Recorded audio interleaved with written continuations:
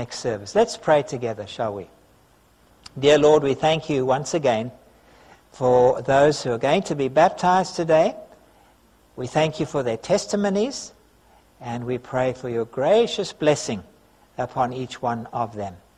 And now, as we turn to your word, we pray that it would also touch our hearts, even as we just heard a moment ago in Jack's testimony, how you used your word through the Sunday school class, through the, his reading of the Bible, to touch him, to show him that you were after him. You had a plan for his life. Thank you for that, Lord. In Jesus' name, Amen. Well, today we have the joy of witnessing um, these seven folks being baptized. Three, uh, th- four ladies and three guys, I think it is. And so we're going to have a shorter message today. And uh, it's the last one in our series on John 17.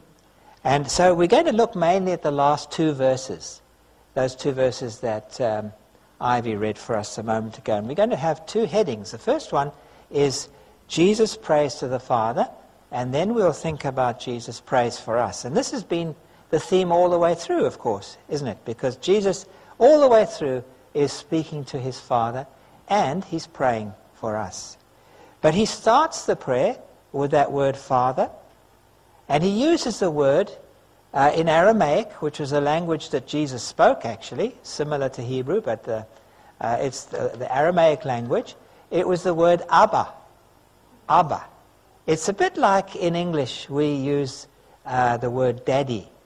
Now, daddy is a very uh, intimate but very loving, close, respectful term for father.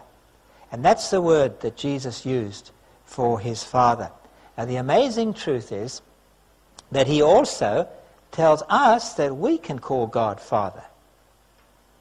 We can call God Daddy. I mean, this is mind blowing, really, isn't it? Jesus taught us, and this is the real Lord's, well, we call this the Lord's Prayer, although John 17 is really the Lord's, the Lord's Prayer. But this prayer that we pray very often in church, Our Father in heaven, hallowed be your name, is really the prayer the Lord taught us to pray. But he's teaching, telling us we can call God Father. This is the amazing thing. There's something very special, something very unique about Christianity here in this very, uh, in this very truth that God is our Father. He's not some remote, far away, angry, or mysterious uh, deity out there somewhere. He is a loving Father. And uh, there's a wonderful book that was written by a lady called Bilquis Sheikh. And uh, she was a member of a wealthy, influential Muslim family in Pakistan. And she became a Christian and uh, wrote this book, I Dared to Call Him Father. And it's interesting to see her story. I think we've got the book in the library, actually, and uh, you, you might be interested to read it. She, she actually um, had dreams about Jesus. She was in Pakistan, this uh, very influential Muslim family. She had dreams about G- uh, Jesus, and she uh, got hold of a Bible and started reading the Bible. And one day, she took one of her um, nephews and nieces or something to the hospital, and at the hospital, she met a doctor. Actually, it was a Catholic uh, nun, a Christian lady doctor, and uh, she was uh, reading her Bible there, and this doctor, uh, also Pakistani, but a Christian, uh, spoke to her and said, Oh, uh, you're a Muslim. How, how come you're reading the Bible, you know? And uh, the, the lady, uh, Sheikh, told her, it's because I, am interested in finding out about God. And so uh, the doctor told her, well, maybe you should pray to God and ask God to reveal himself to you, to show himself to you. And she suggested that when she prays to God, she talks to him like she would talk to her own father. Now, this appealed to Sheikh because she had a good relationship with her father. Now, some people who don't have a good relationship with fa- their father might think, oh, how do I talk to my father? I want to talk to God like I talk to my dad. But in her case, uh, her dad was very loving, kind to her, and she felt, okay, I talk to God like I talk to my dad. And she did. And she asked God to show himself to her. And the amazing thing is, he did. He showed himself to Sheikh, and she became a Christian and was baptized. And then, uh, well, she suffered a lot as a result, of course. She was cut off from her family and friends, and all kinds of stories. You can read it in the book. But she wrote this book, I Dared to Call Him Father. And it was this realization that God was Father that was a key thing in helping her come to faith in Jesus Christ. And so in verse 11 we find uh, not only does Jesus talk about fa- pray to the Father, but he calls his Father Holy Father. And in verse 25 that we read a moment ago, he talks about righteous Father. God is holy and he's righteous. Our Father is holy. No earthly father can compare with the Heavenly Father, actually. Our Heavenly Father is perfect. He's holy and He's righteous. And He's our Creator. And the fact that our Creator is holy and righteous is also very, very significant. You know, God established physical laws in the universe, they govern the universe. For example, the force of gravity, uh, the, the law of aerodynamics. I don't understand them all. But there are, there are physical laws that govern the universe. If you climb up on the top of the building and jump down, you are going to prove the law of gravity. You can't defy it. You'll prove it. You'll illustrate it. Because you'll come crashing down. you won't be able to fly. So these are things that God has established, and science is built on the fact that there are physical laws upholding the universe. But God has also established a moral law, because God is holy and He's righteous. And He's established the moral laws which are, in a way, crystallized in the Ten Commandments. They're very basic, but they're there, and if we try to defy them, we're going to get into trouble too. Just like you jump off the roof, you get into trouble by trying to break the physical laws, and we break the moral laws, we're going to suffer the consequences. And so, without the moral law, our society is adrift on a sea of relativism. Everything's relative. Oh, yeah, that can be good for you. Doesn't necessarily be good for me. That can be right for you. Doesn't mean it's right for me. That's what our society is like today. Everything's relative. We're tossed about by the winds, by the currents of public opinion. Whatever is politically correct. And we just chuck tr- truth out the window. We don't care about what's right and wrong. We just go with whatever is popular at the time. And so this is the problem when we as human beings put God's moral law to the side. But what this prayer of Jesus can tell us is that God is holy, God is righteous, He's the Creator, He's our Father, He's our God, and He has given us these laws for our blessing, for our benefit. And so this, when, when uh, this God whom Jesus calls Father, he is this holy and righteous one. But very sadly, we find here in verse 25, Jesus goes on to say to his Father, The world does not know you. This is a sad truth about society today. People don't know God. That's what Ian was telling us. That spark, you know, let's pass it on. People don't know. So let's pass on the good news. People sometimes are ignorant, and uh, sometimes people uh, are, are deliberately turning away from God's truth. They choose to disregard God's truth. And New Zealand used to be a God fearing nation. Uh, New Zealand used to be uh, sending out many missionaries, uh, proportionate to the population, one of the highest proportions in the world, sending out uh, all over the world, even to China, Japan. And so it's a new generation, and this country once again needs the gospel because there's an ignorance of God's word in the land. There's a famine of God's word in the land. So that's why we must pray for all the churches to be faithful in preaching God's truth and, be and pray that all of us as Christians would be faithful in living out our Christian faith in the marketplace because people need the Lord. People don't know the Lord. The world does not know him, and they will only come to know him through you and through me. The wonderful thing is, God still wants people to come to know him. God is not uh, far away, uninterested in what's going on. He wants us to know him.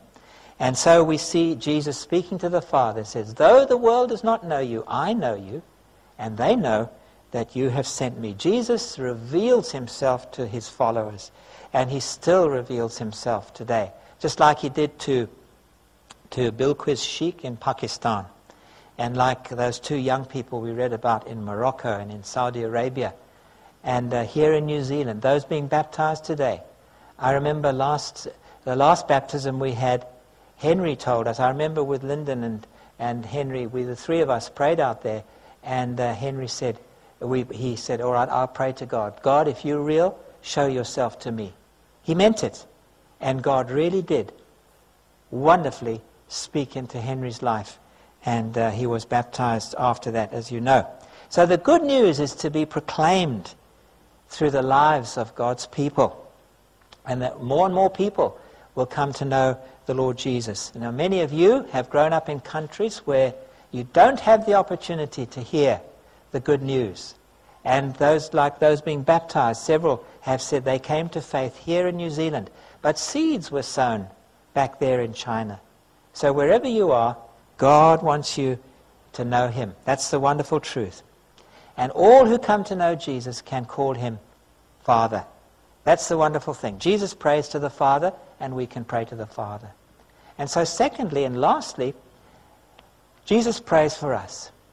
You remember we've talked in the last few weeks about, in this series, about how uh, Jesus prays that we as Christians will be characterized by different things.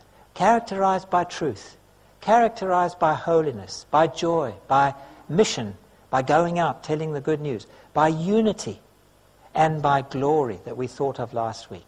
He also prays for us that we will be protected from the evil one. And that's something we need so much, don't we? Especially those being baptized. As the evil one attacks us, that we'll be protected. So if you're a Christian, don't be surprised when Satan has a go at you. You know, he always is thinking of ways to trip us up. He wants to get us to fight with our spouse.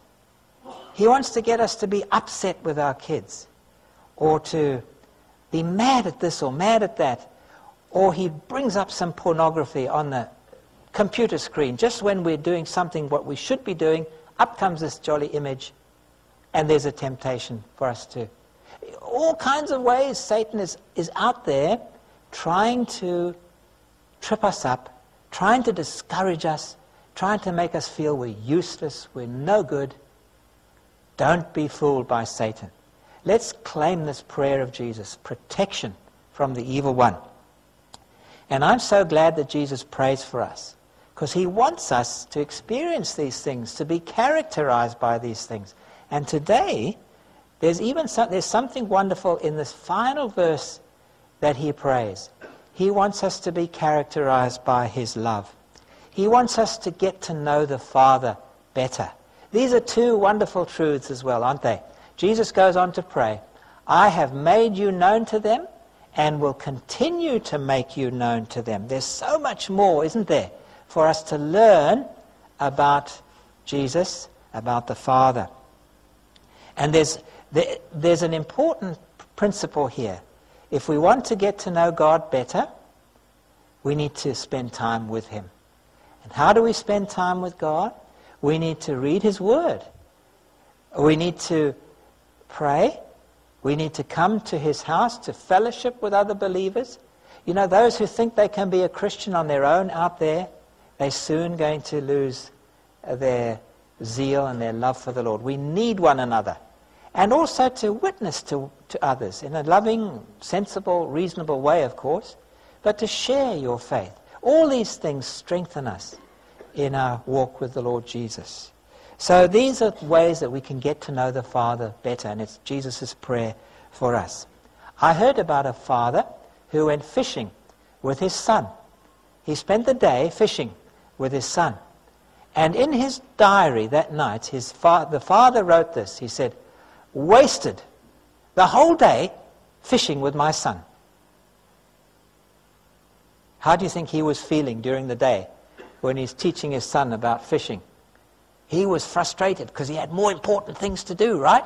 He wanted to go and make more money. He, was, he had all these phone calls to make. Here he is with his son, wasting his day fishing. Unless he's a dad who loves fishing. But obviously he didn't think of the fishing even. But he wasted the day. But what did the son think about it? Years later, the son said this One of the highlights of my childhood was a day I spent fishing with my dad. What a difference, right? And so here it is if we spend time with our children as fathers, as parents, it's going to make an impact upon their lives. They're going to always remember it, the precious memories from our childhood.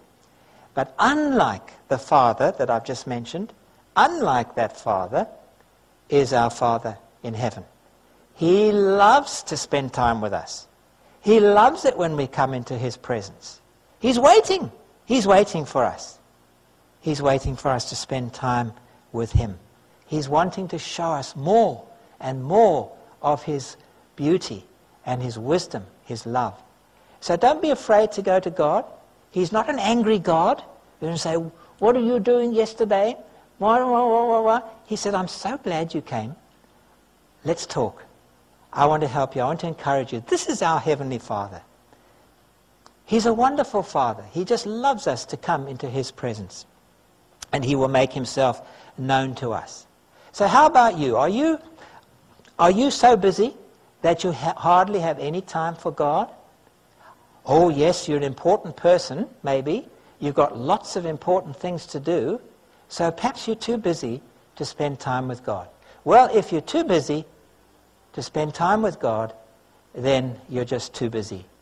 That's the, uh, the, simple, the simple thing. And the busier we are, the busier we are, maybe the more time we need to spend with God. Funny, isn't it? The busier we are, maybe the more time we need to spend with Him. Now, finally, notice this very important thing that Jesus says right at the end of the prayer, the last phrase, and why does he say, I'm going to reveal myself more and more to them? It's in order that the love you have for me may be in them. That's an awesome thought. Jesus is praying that that perfect love that was between the Father and the Son would be in us as well. That we would be characterized by love, by God's love. Now that, I mean, we could have a whole sermon just on that, right? Because We've talked about truth and about joy and about all these other things, unity and glory. But here is something very special too. That love that the Father had for the Son and the Son had for the Father, that perfect love, it is a supernatural love. Just like Christian joy is supernatural. It's not, it's not just a normal kind of joy. And just like uh, unity, Christian unity is supernatural. It's not just organized into existence. And so too with God's love. God's love is so deep, it's so powerful, it's really supernatural. Because God loves those who don't deserve his love. God loves us even when we were uh, in rebellion against him. Like Jack said, not even interested. He locked God out of his heart. Yet God's love was still there, like the Father, waiting for the Son to come home. And what about us? Do we have that love? We need that supernatural love because, you know, it's easy to love people who are nice and kind to us, people who smile and friendly and support us and, and do all kinds of good things for us. Easy to love them. But what about the people who cheat us? What about the people who are unkind to us, who stab us in the back, the people who criticize us, the people who make life difficult for us? Do we love them? Can we pray like the Lord's Prayer says, Forgive us our sins as we forgive those who sin against us? That requires supernatural love, the love of Jesus, to fill our hearts. And so Jesus ends his prayer with another wonderful thought that I myself may be in them. He says may, may, he wants the, the Father to continue, he's going to continue to reveal himself to us. He's going to, so that we can know more of his love. And then he says that I myself may be in them. This is the key to living the Christian life. The presence of Jesus living inside of us. He lives inside every Christian by the indwelling power and presence of the Holy Spirit. You know, this is a wonderful truth. When you go, so sometimes we think, oh, I could never be a Christian. It's, it's, it's too difficult. And you're right, it is too difficult. We can't be Christians in our own strength. But the wonderful truth is, Christian life is when He's living in us by His Spirit, day by day. He's right there with us. Michael Cassidy, who, whose book has been a great help to me in this series, I've mentioned him a few times. Michael uh, talked about a, a, conversation he had with Bill Bright, Dr. Bill Bright. He's a famous Christian leader who's now with the Lord. He was the founder of Campus Crusade for Christ, a student ministry, mainly in the United States, but now worldwide. And Dr. Bright said this to Michael Cassidy one time. He said, Michael, living the Christian life is not just difficult, it is impossible. And the only person who can live it is Jesus Christ. So we have to have Him in our hearts. Otherwise, we can only fail. Well, the good news is that Jesus is alive and He wants to live in our hearts today. And every true believer has the Holy Spirit dwelling within them. And our prayer is today for those being baptized that they will be filled with the Holy Spirit and they will experience Jesus living in them day by day. They'll never turn back. And that's what they're saying in there as they baptize today. Jesus is my Lord. He's living in my heart and I want to live for him for the rest of my life. So by his power, by his grace, may each one of us know the Father more and more, and may we also come to know more of the love of Jesus in our hearts, and may we experience more and more of the leading of the Holy Spirit, the presence of the Holy Spirit in our hearts day by day.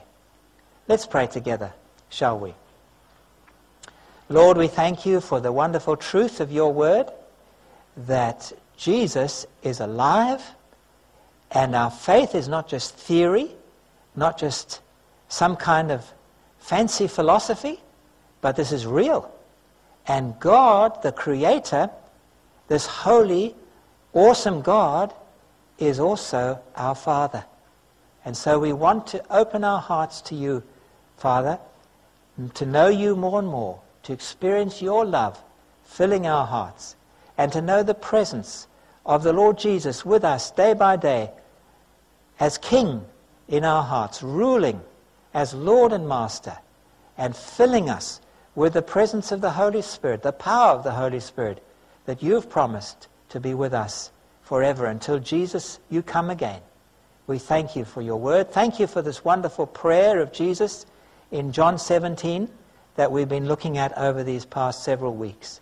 Lord, may we be characterized more and more by all these beautiful things that we've been thinking about. We ask these things in Jesus' name. Amen.